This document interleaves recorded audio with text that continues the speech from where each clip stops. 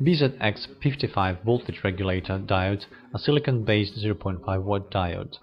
They are also called Zener diodes. Zener diodes support the voltage regulation range from 2.4 to 75 volts. Some manufacturers offer an expanded line of Zener diodes whose maximum stabilized voltage reaches 200 volts. The peak power dissipation in 8.3 milliseconds is 30 watts. Zener diodes come in a glass package DO35. They have the black ring labeled on the cathode side. Zener diodes included into this series are labeled according to Pro Electron system. According to this system, a Zener diode labeled as BZX55 C5V6 is a special purpose silicon-based Zener diode with registration number 55. Stabilized voltage of 5.6 volts and the voltage tolerance of plus minus 5%.